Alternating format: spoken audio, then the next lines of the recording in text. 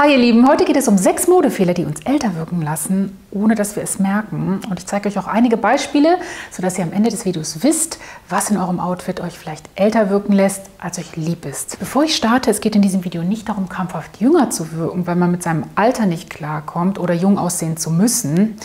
Ihr habt nach dem Video fünf kleine Änderungen im Outfit, mit denen man jünger aussieht, geschrieben, dass ihr gerne mehr zu dem Thema sehen wollt.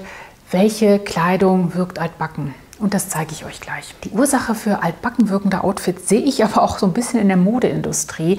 Denn zwischen Teenie-Mode mit Crop-Tops und anderen crazy Fummeln und Best-Ager-Mode, also Mode ab 50, ist irgendwie modisches Niemandsland. Also diese Zielgruppe, ich sag mal zwischen 25 und 50 wird irgendwie so gar nicht bedient, hat man manchmal das Gefühl. Und die Mode ab 50 ist gelinde gesagt auch nicht immer das, was man unter stilvoll versteht. Naja, ich starte mal mit Modefehler Nummer 1. Sich altersgerecht kleiden. Viele Frauen denken ja, dass sie ab einem bestimmten Alter gewisse Teile nicht mehr tragen sollten, wie zum Beispiel kurzärmelige Tops, ärmellose Tops oder Röcke, die kürzer als knielang sind. Manche Frauen tragen auch gar nichts Körperbetontes mehr, einfach nur um auf Nummer sicher zu gehen um nicht peinlich zu wirken oder schief angeguckt zu werden. Klar, es gibt eine Zeit und einen Ort, um Haut zu zeigen. Und ein Minirock ist im Büro vielleicht nicht die allerbeste Wahl. Aber ansonsten lasse ich mir in meinen 40ern nicht vorschreiben, was ich anziehen darf und was nicht. Denn es ist einfach nicht zeitgemäß, sich an starre Moderegeln zu halten, die sich irgendein Schlaumeier mal ausgedacht hat. Ja, Frauen sehen heute mit zunehmendem Alter immer besser aus, kennen ihre Schokoladenseiten und sind selbstbewusst wie nie. Und ich zeige euch jetzt mal ein paar Stilikonen zwischen 65 und 98, die auf altersgerechte Kleidung pfeifen und bei denen man sich einiges abgucken kann. Hier seht ihr zum Beispiel Carino Rothfelde. Mein Französisch ist sehr eingerostet, verzeiht mir. Das ist die ehemalige Chefredakteurin der französischen Vogue und die zeigt uns, dass man mit über 60 noch bauchfrei tragen kann. Es sieht auch kein bisschen auf jung getrimmt aus, sondern einfach sehr stilvoll und edel in der Kombi, die sie trägt. Dann die Schauspielerin Helen Mirren, die 64 ist. Man sieht sie fast nie in tristen Farben und irgendwas an ihrem Outfit ist immer jugendlich oder sexy. Hier betont sie zum Beispiel sehr schön ihren Busen und trägt eine frische Farbe, die ihr unheimlich gut steht. Und Catherine Deneuve scheut nicht vor lauten Prints, kurzen Ärmeln und High Heels zurück. Sie ist ein absoluter Freigeist und zeigt das auch mit dem, was sie trägt. Und man sieht, man kann wirklich in jedem Alter ein feminin elegantes Outfit mit ein paar sexy Highlights tragen. Lauren Hutton, 670, macht ihre eigenen Moderegeln und trägt alles vom Converse-Sneaker bis zum androgynen Smoking.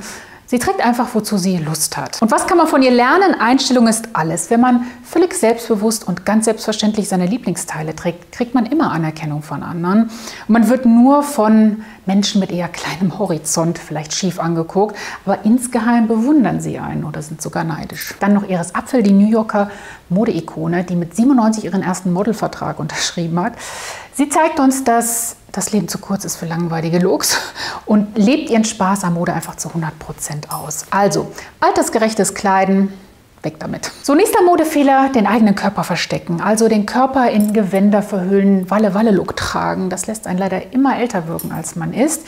Dabei hat jede von uns ihre Schokoladenseiten und kann ihr Outfit um diese Schokoladenseiten herum bauen. Und das gibt einem auch einen Selbstbewusstseinsschub, denn das Outfit basiert auf etwas Positivem und nicht auf negativen Gedanken wie, wie verstecke ich meine Winkearme, wie verstecke ich meinen Bauch, wie kaschiere ich meine Oberschenkel und so weiter. Es geht also darum, das Outfit immer auf Figur zu bringen, eine Balance zu schaffen.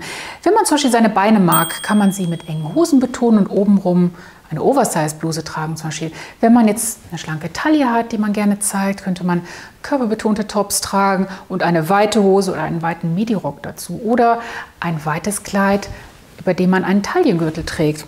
Oder wenn man gerne sein Dekolleté zeigt, dann hat man eine schöne Bluse, die den Blick so in diese Richtung lenkt und untenrum kann man dann auch etwas weiteres oder verhüllenderes tragen, wenn man möchte. Es geht also darum, eine Balance zwischen weit und eng zu schaffen. Das geht auch in einzelnen Teilen. Wenn man zum Beispiel eine Bluse mit einem weißen Arm, aber einem engen Saum trägt oder eine Marlene-Hose, die an der Hüfte und am Po eng sitzt und darunter weit ausläuft.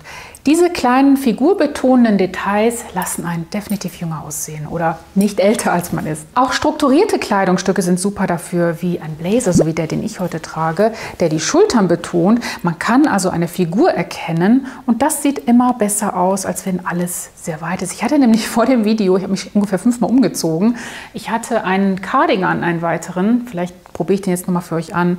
Aber da sieht man direkt, das sieht dann nicht so gut. Das sieht so ein bisschen so, hm, ja, Mutti ist unterwegs aus. Das sieht da schon etwas angezogener aus und man sieht einfach meine Figur. Modefehler Nummer drei, der einen älter wirken lässt, Kleidung, die nicht richtig sitzt. Also wenn man Kleidung trägt, die vor zwei Jahren perfekt gepasst hat, aber jetzt nicht mehr, denn Vielleicht war man schwanger oder man hat zugenommen oder abgenommen.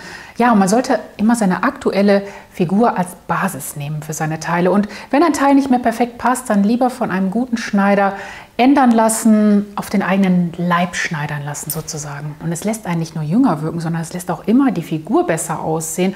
Und das Outfit sieht insgesamt edler und teurer aus, als wenn man schlecht sitzende Kleidung trägt. Modefehler Nummer 4, wenn man Retro-Teile aus der Jugend trägt. Also wenn man zu sehr an Teilen festhält, die man früher gerne getragen hat. Ein Beispiel, Jeggings mit niedrigem Bund, also diese Mischung aus Leggings und Jeans mit diesem extrem niedrigen Bund, haben wir alle in den 2000ern getragen und geliebt, weil ultra bequem. Aber wenn man jetzt so eine Hose trägt, dann wirkt es schnell so, als sei man ein bisschen in seiner Jugendzeit stecken geblieben und käme nicht so gut mit seinem Alter klar. Also ein bisschen Vorsicht bei altmodischen Teilen oder bei Vintage-Teilen. Das heißt jetzt nicht, dass man sie entsorgen muss, auf gar keinen Fall. Man kann sie trotzdem weitertragen. Mein Tipp ist, sie einfach mit modischeren Teilen zu kombinieren. Und dazu habe ich auch ein Video gedreht, wie man altmodische Teile up-to-date bringt. Ich verlinke euch das mal hier oben. Also man wirkt immer jünger, wenn man mit der Mode geht, aber andererseits nicht zu trendy unterwegs ist, denn dann wirkt man wie ein Modeopfer. Also es ist eine Gratwanderung.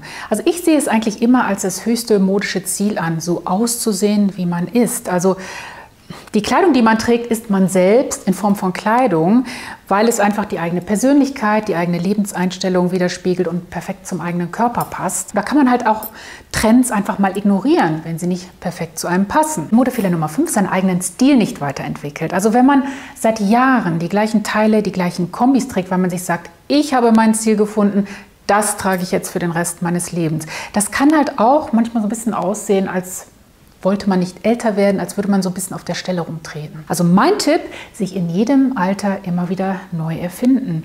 Wir Menschen verändern uns ja, unsere Interessen verändern sich, unsere Einstellungen zu bestimmten Dingen ändern sich, unser Körper verändert sich.